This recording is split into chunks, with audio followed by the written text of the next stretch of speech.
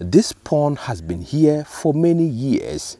Residents say it is as old as the community. It is difficult to count the number of crocodiles here. My name is uh, Reverend Elisha Osman Agbang. I'm from uh, Zosi Jiaku. Akolwok pond is a pond that contains a whole lot of crocodiles. As you can see, there is one line over there.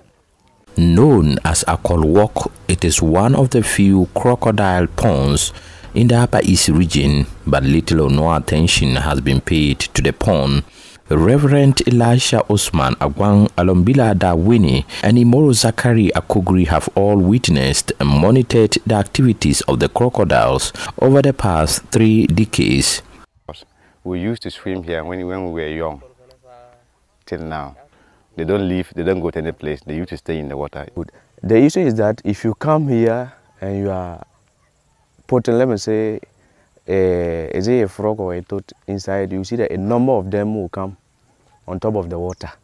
So you see that they will run, more than 10 or 15 will run and come out so that they will be rushing. So from there I will get to know that there are so many inside in the water. But in recent times, the level of water in the pond is gradually decreasing. Residents attribute the drying up to farming activities along the pond, among others. And these days, the water is decreasing. So we, we don't know that, why the water is decreasing. So we need to come out. Like farming along the riverside made the water to be so shallow, not deep again like we used to know in the first time. So we are calling upon help. Whichever or whomever who heard of this should support us so that this, this place can change into tourist center. Ani kuragamun saat suya Here is Chief of Yarigun Naba Alombila Alal Kuduk. Kulrabo dukum. Yum mi yum kane kabla kane yalak bi ala. Eh.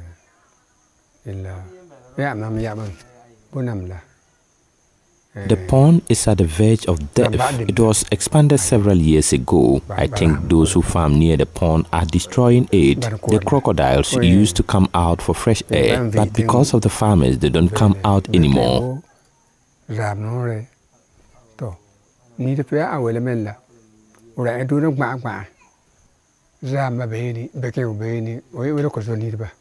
He says the pond is one of the respected earth gods, which on many occasions communicated to them about the future.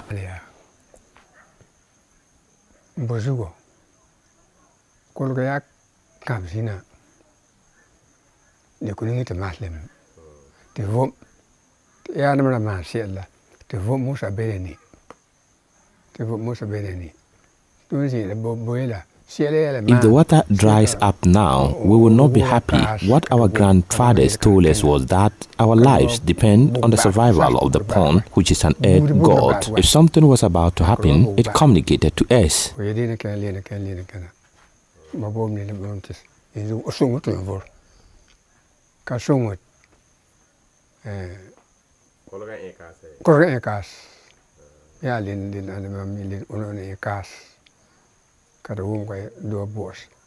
Naba Alal Kudu can't also tell the age of the pond, but says his grandparents came to meet it. How residents could channel their concerns to government officials is one of the biggest challenges. That, uh, because they are not paying attention to it, we, we spoke about it to our leaders and they are not saying anything.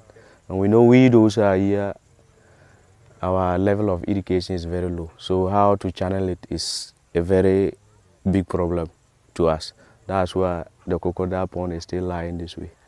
If this crocodile pond is developed, if people come to expand the pond, it will create the enabling environment for the crocodiles so that many people will come and the place will open up the youth here will get work to do.